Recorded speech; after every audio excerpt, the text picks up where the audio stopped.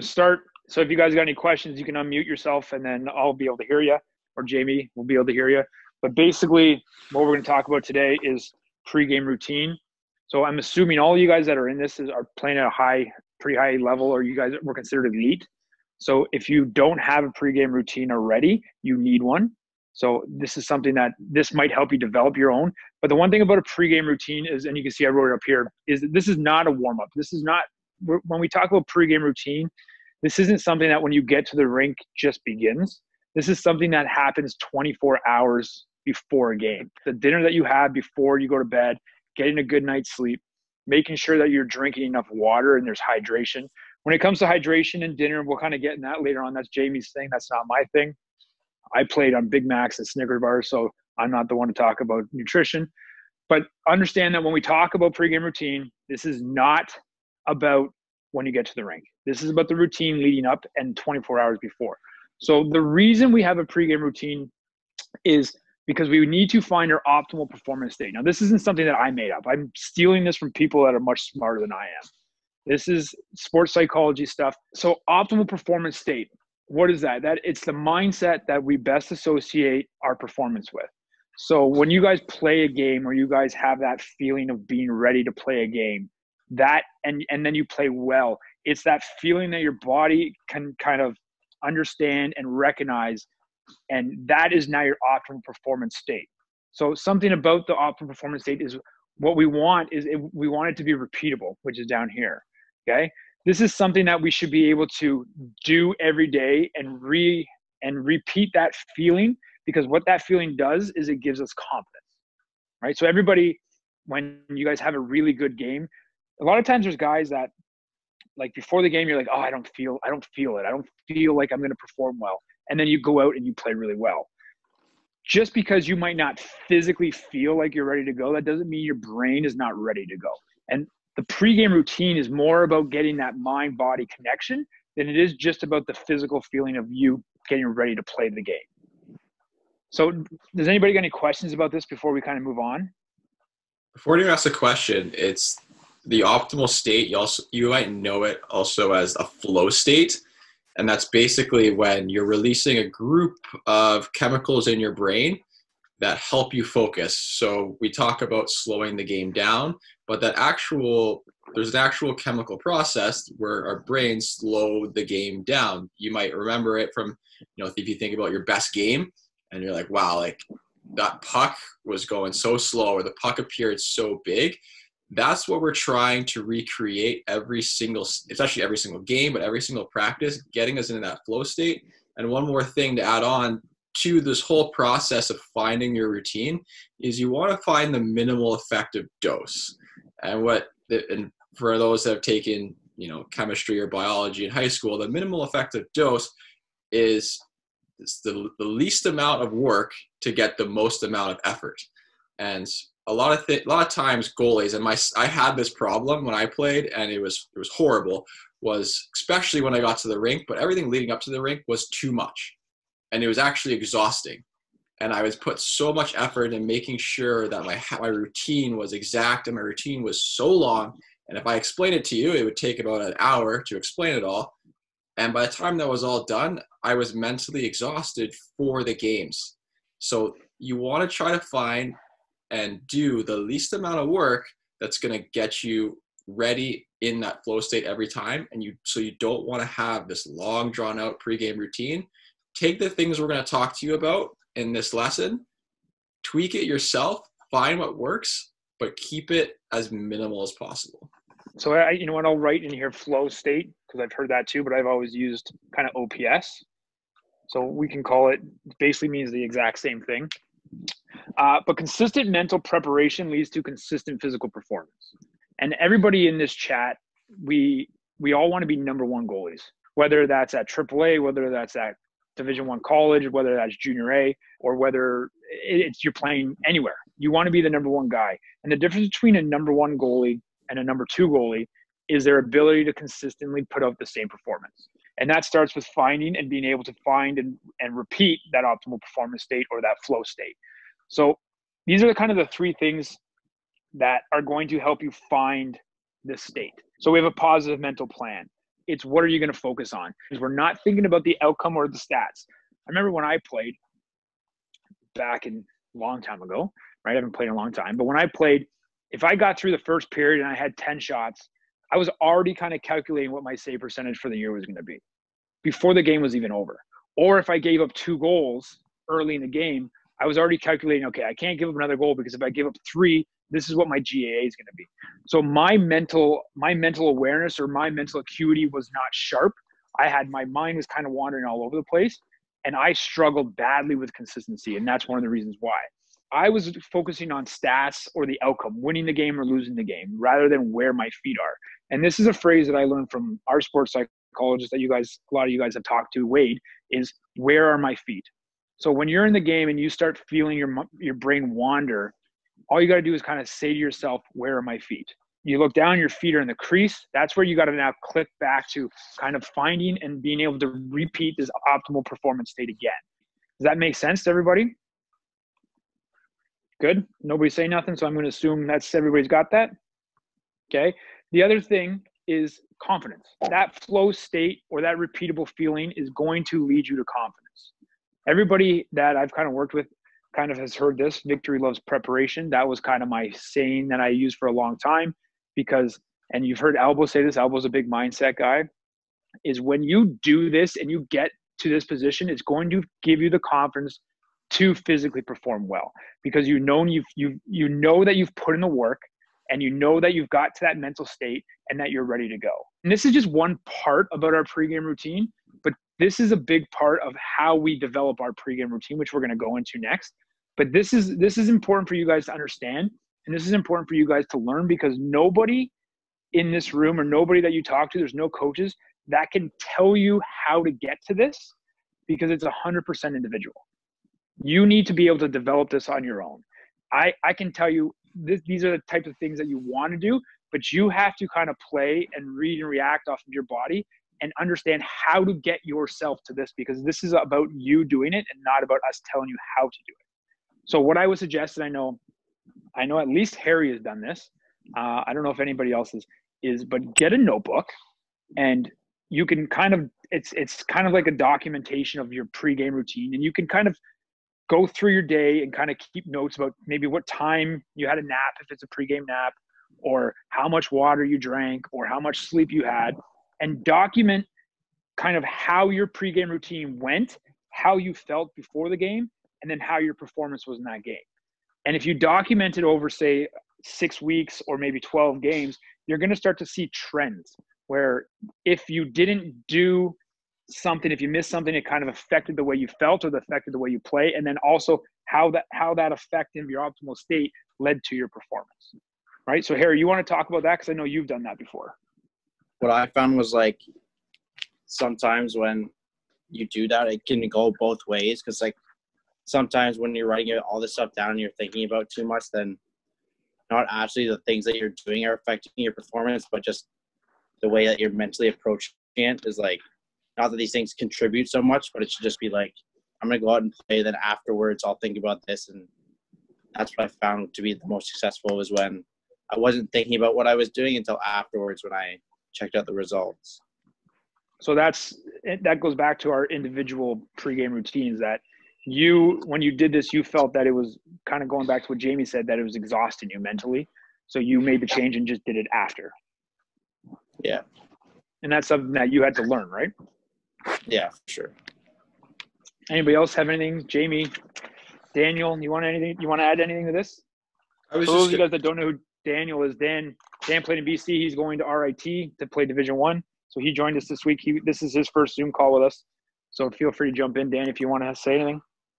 I guess like my pregame routine, like just doing it like 24 hours prior, like it's something like I started like when I was playing AAA, and like every year I kind of added things to it, and every year kind of changes because playing on different teams like Chilliwack, Wenatchee, they have like different game day schedules, like different pre games. So you kind of just got to work around that. And like at the start, you kind of got to like test things out, and then you know then you see what works, kind of thing. That's what I kind of did. Well, I'm glad Shadard brought up about adding things too, because this will this will kind of circle back to our what I talked about at the start. Is it's good to experiment, it's good to add things, but you don't want to add too much. And for myself, I would have I had my set routine that I had since I was 16 years old that I used for 11 years. And the only thing that changed in that whole routine was I would add things. And the problem was is if you play hockey long enough and you add things every year, eventually your routine becomes so long that it becomes exhausting and sometimes daunting. So if you're going to look to add things, also don't be afraid to take things out and to kind of play around with it, especially for you younger goalies. Um, now is the time to figure out what works and what doesn't because when you get older and if you're superstitious or your habits or you just find what works for you, it's much more difficult to change. Good. So you guys are definitely hitting on the next part is how it's very individual. Okay. And Harry, Danny, Philly all hit on this self-awareness. If we talk about pregame routine and we and we want to now compare Marc Andre Fleury with Braden Holtby. So how does him and Fleury, how do they differ in terms of their self-awareness and their arousal level? Because the biggest thing too is you need to know yourself. Fleury, Holtby, very different people. When we think about Fleury, what's some of the stuff that we see that he does before games? Relaxed and happy. He's relaxed. Happy. What else? He seems like excited. Yeah. Excited. Okay. How about you see him do cartwheels? Everybody's seen that. He does cartwheels, right? He does chest bumps. There Right, seems to be there's a- there's- very little structure. Very well. The, that's what we see, right? We, We, see, don't. We don't we know. s- yeah, we see Yeah, this what he presents to us is that there's less stress, but uh, we don't know what he's doing behind the scenes. But just in terms of his arousal level and excitement, right? There's a there's a pretty good one on YouTube that I saw yesterday where he's actually on the on at center ice chirping Ovechkin during uh, a playoff game, squirting water at him. Okay, Laugh- when we think about Holtby, laughing, right? When we think about Holtby, we think like stoic, very straight face, very serious, not laughing by himself. Uh, he has a towel over his head, right? He finds quiet, dark rooms. So it's very, they're very different in the way they terms that these two guys playing possibly two Hall of Famers, two Stanley Cup champions. Uh, Vezina, I don't know if Fleury's got a Vezina trophy. He might by the end of his career, but two guys that are definitely, in my opinion, Hall of Fame goalies. How very different they act before a game, and what they ha- what they've done over their course of their career is they have self awareness and they realize what they need to do in terms of their preparation to play their best. You need to do whatever you need to do and be self aware to find that optimal state. And if it's if it's more like Fleury, if that's what gets you ready to play the game, then that's what gets you ready to play the game. If it's you want to be by yourself, if you don't want to talk to anybody, if you turn kind of the world off and you get in your own head, then that's what you have to do. There is no right or wrong way right? And that's the biggest thing I want you guys to understand is that it is 100% individual on how you prepare, and it's on you to figure out what works best for you. I was just gonna say, in sports psychology, there's something called the anxiety arousal curve, and I don't have a whiteboard here to draw it, so I guess you gotta look at my hands. But we've all seen graphs that meet in the middle. Obviously, this would be the highest, this would be the lowest. And what you have is you have your anxiety, and if your anxiety gets too high, you can't perform. This is when you're nervous. You know, you can't sleep the night before. There are guys that throw up a tweet before games. That's how nervous they are. And if your nerves are too high, you're not going to be able to perform. But if your nerves are too low, like you just don't care, this game is a nothing game. You're just here to be here. Chances are you're not going to perform well either. The same goes with arousal. If you're not excited to play, or you get too excited to play and you're way up here, your thoughts are going to be all over the place. It's hard to stay focused and you're not going to play well. And the reverse is if you're not very excited and it's another just whatever game, you're gonna you're gonna struggle to find that focus. And we've all been there. And with the anxiety arousal curve, is you want to meet somewhere in the middle where your your anxiety isn't too high and your arousal isn't too high. And so when those connect, that's where you get that optimal state or that flow state where you have just the right amount of nerves, just the right amount of excitement to get you and trigger those endorphins in your brain. And that's going to put you in the optimal state. Uh, one thing I'll say about uh, anxiety or nerves or jitters or excitement Uh, your body cannot distinguish between anxiety and excitement. It's the same emotion. So when you are feeling anxious, you're also feeling your your body doesn't know if you're anxious or if you're excited. It, it senses it as the same as the same thing. So you might feel like, oh, I'm really really nervous, but your body can also think of that as excitement. You're excited to play. So it's a perfect thing that Jamie said is you got to be able to control the level of arousal, and that's something like we go back to individual. You guys got to learn how to do that on your own. So because this is so individual, there's no laws or rules around your pregame routine. But just in terms of what there's two things I think that should be included in all pregame routines. Okay. Number one is visualization. Okay. Everybody knows what visualization is. Everybody has done visualization. Whether you think you have or you haven't, if you if you're sitting on the couch and you are thinking about a guy shooting and you catching a puck, that's visualization. You are constantly always practicing it. So right now, me just saying you sitting on the couch and catching a puck, everybody just thought about that. You've now practiced visualization. So when we talk about it in terms of visualization, there's a couple things that I think are very important when we talk about pre-game visualization. Is number one, positive. Okay, positive outcomes. And I know this because in my head, when I played, those negative visualization cues would pop in. I would think about me making maybe a breakaway save or beating a pass in my feet and then getting a belly trap and then things would creep into my head where a guy would beat me high far side or guy would beat me on a rebound. You need to practice this. You need to practice and train your brain to block out those negative those negative outcomes and only think about that positive visualization. And i'm sure everybody here who's done visualizations have had some of those negative thoughts creep in. You got to learn to now push those out but understand that you're going to get scored on right? So if you do have a hard time keeping only positives and you do have those mental or sorry those negative thoughts creeping your head now you can turn that into a positive and you can take those negative kind of emotions and visualizations and then work on kind of that reset so after you get scored on if you can't keep those at your head then practice positive resetting so that you're ready to go after a game because that is going to help you after after a goal in the game also because what happens is the more we work on visualization the more things become familiar. So I don't want you guys when we do visualization, what I would recommend is we we don't want to just visualize stopping pucks. Okay. We also want to visualize situations. So power plays or three on twos. You want to visualize those things developing. Maybe they don't even result in a shot or a save, but when you're sitting at home and you're preparing, the more you can visualize different things that will happen in the game consistently, like corner cycles or going D to D or dump ins and communicating with your defenseman. The more you visualize those, the more your brain is becoming familiar with those, and the easier it is going to be able to adapt and react during the game. So the second part, other than visualization, and like I, we said before, this should happen 24 hours before.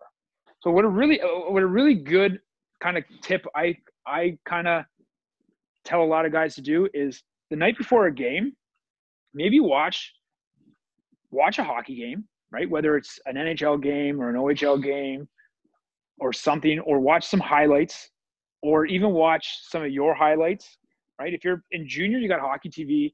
So if you're playing, say Harry's playing, he played for Oakville last year. If you guys are playing Burlington, you can watch maybe two or three of Burlington's power plays the night before a game. That's going to kind of help you with visualization, getting familiar. And you can do that before because the visualization can start 24 hours before, just like our pregame routine starts 24 hours before. Other than visualization, and Jamie's going to take this over, is I think the second most important part, maybe the m- most important is up to, that's up for debate or up to uh, personal preference, is pregame nutrition. So I have no input on this, so I am going to stop talking. Just like visualization and all these things are individual to your own needs, so is nutrition. So it's incredibly difficult for me to just come in and be like, yes, breakfast, you need this, this, this, lunch, this, this, this, and do this, this, this. There's certain things that you can do that or certain general statements I can make that are going to work for everybody. But I suggest that if you really want to have a more serious nutrition plan or just you have questions about it, you can reach out to me individually through my Instagram, Victoria Nutrition, and we can talk about this stuff And again, here's a, just a shameless plug: is I have a hockey player nutrition manual coming out, and I break down in-season, off-season nutrition, pre-game nutrition, all these things. So the key that we want to focus on when it comes to nutrition is we need to make sure we have enough energy to perform. And by energy, I mean calories. And this is starting the day, the day or two before a game. So from the definitely from the night before, you want to make sure you get some good protein, some chicken, fish, beef, uh, mix that with some carbs. Could be anything from rice, quinoa, a couple good slices of bread with some fats, some avocado, oil, nuts, like all these things. And then when it comes to game time, same thing. So you might develop that part of your routine is exactly what you eat. For me, every game day morning, I was having two pieces of avocado toast, four eggs, and oatmeal. And if you pregame skate, you're going to have to eat more than if you don't pregame skate. That will carry you into lunch. Same thing. You want to make sure you're getting your proteins, carbs, and fats at lunch. And then, depending on what time you guys play, for those of you that are in school, you eat again before the game, this is where it gets a little tricky because you don't want to eat too much. Because if you eat too much before a game, you're going to feel heavy and slow and sluggish or nauseous, and you're not going to feel good. And that's going to be distracting, and it's going to be very difficult to get into that flow state. So, between periods, eat some eat some simple sugars, digest quickly.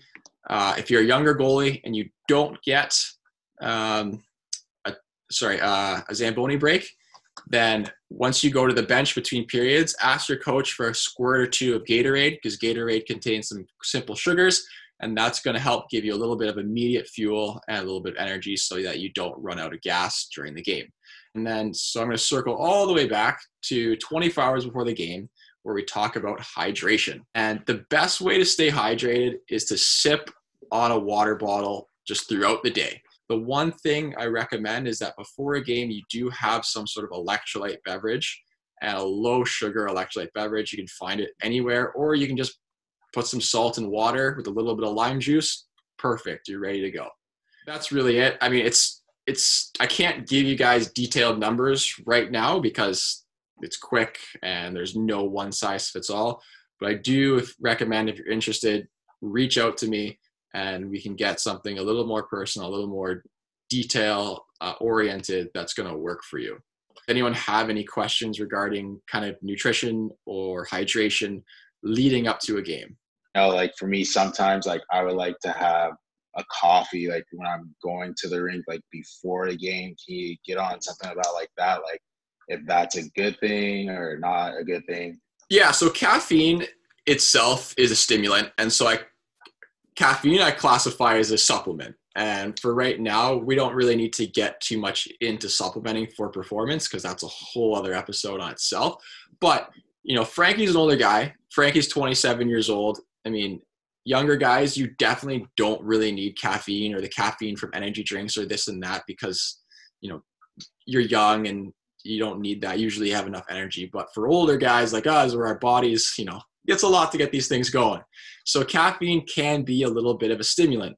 Um, one thing, the things I'd recommend about caffeine is don't exceed too much. So if you're having three or four cups of coffee before a game, or sometimes even like an energy drink like a monster contains like 300 milligrams of caffeine. Like this is so much. You're, it's going to cause you to spike and your energy levels are going to go up and what comes up must come back down so even those drinks like five hour energy like steady steady energy don't crash it's a lie you can't have, be stimulated and not come back down because it, it breaks all the laws of physics so if you're going to use caffeine as a supplement for your game whether that's straight coffee or an energy drink or through a pre-workout you want to have it about 30 minutes before you play how much caffeine?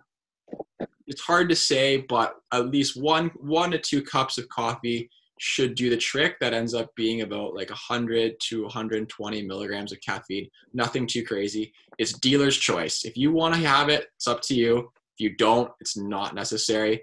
But don't go overboard. If you're gonna have an energy drink, look at the ingredients. Try not to exceed over 200 milligrams before a game, or else it's too much and it'll be hard to focus. Hope does that answer your question, Frankie? Yeah, it does. Thanks. Anyone else have any uh, nutrition or hydration questions? one, Jamie. Yeah. What do you think like the best time to like a pregame meal at? Like more like some of my nutritionists and when I actually say like they would say like three o'clock for like a seven o'clock game, but some like say like one thirty. So I get There's no there's no perfect time. Uh, it's whatever works best for you. So, like I said before, you don't want to be too full and you don't want to be too hungry. And so, you know your body, you know what's going to fill you up, you know what foods are going to fill you up, and how much is going to fill you up, and when you should eat that. So, I can only speak for myself, but I like to have a big meal after pregame skate before my nap. And then I would have a small snack when I woke up a snack at the rink and snacks between periods. There is no perfect time. The only thing I would suggest is try not to eat a massive meal right before. So if you have to get if you get to the rink at four o'clock, don't have a huge meal at like three or three thirty because it might be a little too much. I would say have smaller smaller meals closer to the closer to when you arrive at the rink. Bigger meals um, if you're eating much earlier to when you arrive. that goes back to our kind of self-awareness and if you guys I'm, I'm a big on taking notes and learning yourselves and trying to understand what makes you perform well and what will hinder you. So if you keep track of that and you'll see kind of after a while you'll see what, what kind of works for you best and then you kind of stay on that course. We are moving on. Okay so after that after we got nutrition and we got visualization after that's 100% uh, on you guys. So everybody take their turn their mics off mute because now we're just going to kind of spitball and throw some stuff out there. So uh, now, if as we get to the closer to the game and we want to talk about maybe warm ups, uh, so let's start throwing some stuff out there. What's some stuff that you guys do that we'll just throw it on the board here? Roll out, Okay, so what else? What else? stretch. Stretch. And I. And uh, Yeah. Yeah. Ball drills. next week, everybody wear headphones so we don't hear this echoing. So when we do hand eye, who's that? Cookie that said that? Uh, it was not. Okay, who said hand eye? That- Just That keep was Damaris. talking about Oh, Damaris. What do you what do you do for your hand eye? juggling. Uh, I have like those beads and like nut thing to focus the eyes. Yeah, we got to turn the mics off unless you're talking. It's there's too much. Okay, turn your Got mic it. off unless you're talking then. Yeah. Next week, bring headphones. What else we got? Uh, throwing like ball off the wall, like closer than six Ball off feet. the wall. Okay, good. Somebody else give me something else. So we got rolling out, we got stretching. What else? Right. I'm sure everybody good. Music. Dynamic. So let's let's go dynamic first. Danny, go. What do you got for that? Um, I got some like glute activation stuff. I just think So so, I can feel all my muscles kind of like It's a fun way to say butt. Yeah. What else? um, You I got some like jumping, like some yeah, like plyometrics. jumping, like single leg, like skater. Um, what are those called? You know, Like pushing side to side. Yeah, So single leg, just we'll put single Skater leg hops. yeah. drills. Okay, good. So that's important. Let's get the body ready, right? Because remember, it's all about mind body connection. So if we're doing the visualization and we're getting the mind ready, we got to make sure we get the body ready. Music. I'm sure everybody listens to music, right? Guys, throw headphones in, or if you're not, if, if you're not a headphone guy, you're probably in your in your dressing room, and guys probably have some music going on. So finding the right type of music that gets you to your right your your arousal level. Can't spell right now. Right. So whether it's you're listening to country, which might make you kind of happy, right, or you're listening to Die Art is Murder, like Jamie listens to, which is going to make you angry, right? That's about individual knowing the level of arousal that you need to get to. Okay. What else? Give me some of the younger guys. Hayden, what do you got? Um, visualization. Okay. We already talked about the visualization. So what do you like to do for visualization, Hayden? Um, just picture me making saves. Good. Making saves. Cuff, what do you got? Uh, a lot of guys are doing the breathing stuff, like those breathing technique things. breathing is going to help you calm yourself down if you if you're a guy that needs to be calm to play so So there's breathing exercises. That's a good one. If you Uh, if you need to calm yourself down, go like guys that get nervous and stuff. Google box breathing. Uh, it's a Navy SEAL technique. It's basically you breathe, you inhale for four seconds, then you hold that breath inside for four seconds, then you exhale for four. You hold that exhale so you have no air in your lungs for four seconds, and you just do that continuously, and that helps kind of calm you down and relax. And if it works for Navy SEALs, it would work for us. Can Good. add something to that? What's up? No, yeah. Um, I found like doing that box breathing thing, it would also help with when negative thoughts got into my head. If I would just focus on in for four, holding for four, out for four, whatever, I'd find if I ever thought about something like negative throughout the game, even before the game too, if I'm visualizing, then it would just kind of clear my mind and I could get right back into it, sort of thing. Perfect. That's a that's a good point, Shutter. Like this box breathing thing is something you can do in the game. It could be it could help you with your goal reset. Awesome point, Scheller. Uh, Harris, you got anything? McGovern, Cookie. I got I got something. Um, what you got, Cookie? I think I usually just think about the the threats on the other team, like a pre-scout, what guys, what hands they are, where they usually like to shoot, like what their power play setup is. Good. Yeah, I was gonna say the same thing. Like I usually watch like video on like an iPad of the other team to see like what their power play is and like what their whole strategy is type of thing. This part is also 100% individual. There are guys that there are guys that want to know, right, so that they can anticipate, and then there's guys that just like, yeah, I don't want to know anything. I just want to react. Right. So that's something as a goalie and as you guys get to higher levels are gonna have to learn about yourselves. There's just some guys, and even this goes for shooters too. Some guys will come to me if I'm coaching a team, be like, Boosh, where am I shooting on this guy? And then there'll be other guys like, yeah, don't tell me. I just want to do it. I want my instincts to kick in. So this is something that is that's good that those two guys are doing this, but don't feel, especially minor hockey guys, like it's tough to get some video on if you're playing minor hockey. But this is individual. You might like it, you might not like it, and that's totally okay. Anything else we want to add to this? Um, you can also do like tension to release. So like you squeeze like a certain like muscle group and then you release it and it makes you feel like um that muscle group like relaxed and like it makes it more like I don't know, you can move better in those different muscle groups. So this can kind of go into like the physical. This wouldn't be a dynamic warm up, but this could be in like the kind of that physical readiness part.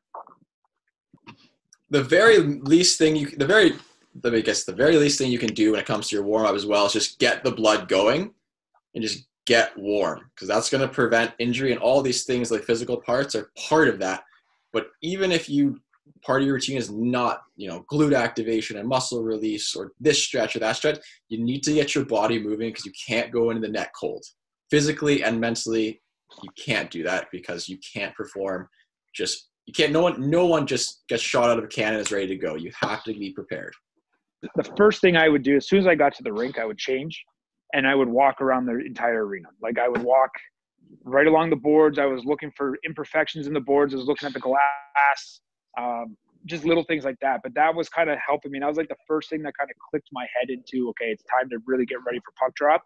Is just simple walk.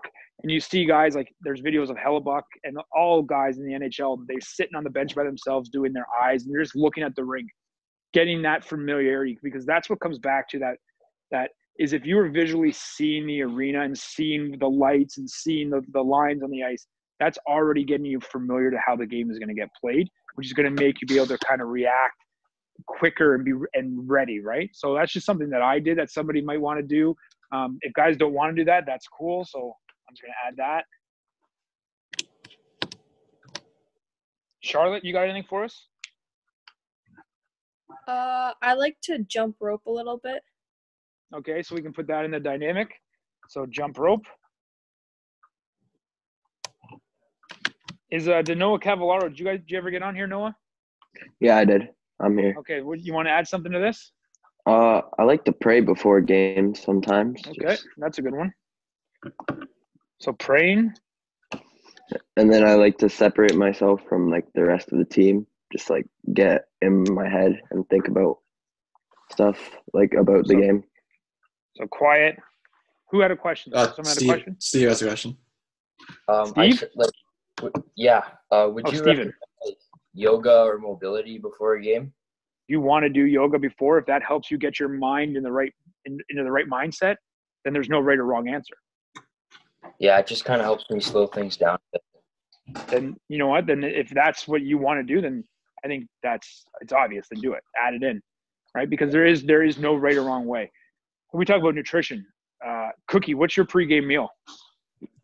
Are you talking about like the whole day or just one? No, just what is your what is your go to pregame meal? Uh, pizza Don't be sub from embarrassed. Subway. Pizza sub from Subway. I thought it wasn't a chicken nuggets at one point. Oh my god. Yeah, It so- was. It was. So it's not like that's not something that we're going to recommend for Benny or Dan Chenard, the two guys on my screen. That's not something we're going to recommend for those guys. But if having a pizza sub from Subway is what gets Cookie ready and mentally prepared, then that's what he's going to have, and that's what he should have because Cookie led the led the province in numbers this year having pizza subs and chicken fingers. So it worked. What Yep. uh, what about Reed? Reed Gates. What do we want to add to this? Uh, I just try to like before the game, I'll let myself like think about just literally anything, and then about twenty minutes. So like when I'm fully dressed, I try to just like zone everything out and just dial in on the game. Okay, good. Where's my girl Shannon? I like throw a ball, I stretch. And then I get in the room, and then when the coaches are talking, I just zone everything out. So how many of you guys do So the turtle? you guys do You guys the know what the turtle? turtle? You guys Okay, the Shannon, turtle- mute me now. Shannon, mute me now. Mute your headphones or your mic, Shannon. How many of you guys do the turtle? You guys know what the turtle is? Right, where you sit and you bring your shoulder pads, and you kind of put your head down in your shoulder pads so you can't see anything. Right, that Jamie Reimer has a pretty good video on YouTube talking about how that's his mental cue to click in. Is as soon as he gets his jersey on, he turtles for a couple minutes, and that's when his brain really kind of dials in. So there's lots of stuff on this wall. We talked about lots of stuff. Uh, we talked about optimal performance state or flow state, right? Uh, me and Jamie call different things, but it's basically the same thing. You guys have to find out how to get to your optimal training or so your optimal optical mental state. That's individual. We can't help you with that. Uh, we gave you guys some ideas on what might help you get ready for a game, but and, and some of the things that might help you you should include in your pregame routine. But it's on you guys to develop something. It's on you guys to be self-aware enough to know whether or not it works. So if we go back and we talk about Marc Andre Fleury and Braden Holtby, two guys that play very different games. They have very different outward emotion before a game, but two guys that are Hall of Fames. So there is no right or wrong way. You guys need to be self-aware, understand how you prepare for a game, and then it's on you guys to do it. It's not on your parents to do it for you. The biggest thing I see is, oh, I couldn't get my pregame routine in because we were late to the rink. But how does that affect what you did the night before? Because there's a, a pregame routine starts 24 hours before. You cannot also this is this we should end on this is you can't be so rigid in this that if one thing goes wrong or one thing isn't perfect in your in your routine that it now negatively affects your performance. Right? If you break a skate lace when you're tying your left skate because your skate lace has or your left skate has to go first that lace breaks. Can't be like oh i'm going to give up three tonight. I'm going to get yanked. Because that's just that mean that means you're too you're too invested and too rigid in your routine just because you break a skate lace it doesn't mean you're going to get scored on three times in the first five minutes. There, there is no correlation to that. So don't be so don't be so kind of mentally weak and invested in this that it has to be perfect every time. Because when you play junior or you play college you might have a you might have a flat tire on a bus. If you're playing the coast you're probably pushing the bus half the time right? If so you you have to be able to be strong enough mentally and understand that it doesn't have to be the perfect every single time does that make sense i kind of stumbled around my words there yeah Makes, makes sense. makes sense thanks jamie Yeah. Um, uh, can I say something, Bush? yes please Uh, like some of the guys weren't here for this, but when uh, Mark Visentin used to like comment a lot and talk about like his career, he'd talk about playing in the coast, getting to the rink after the bus broke down, ten minutes before warm ups, not being able to do his routine, eating like garbage food. But the one thing he told me is that like time doesn't make saves you make saves so really all that all that it comes down to is wanting to make the saves even though maybe your pregame routine wasn't done all the way through That's a good line. Cookie, I'm going to write that down. Good. Anybody got anything final to add? We kind of went over time a little bit, but I think there's some good stuff here. Other than that, get out of here. I'm going to watch the draft.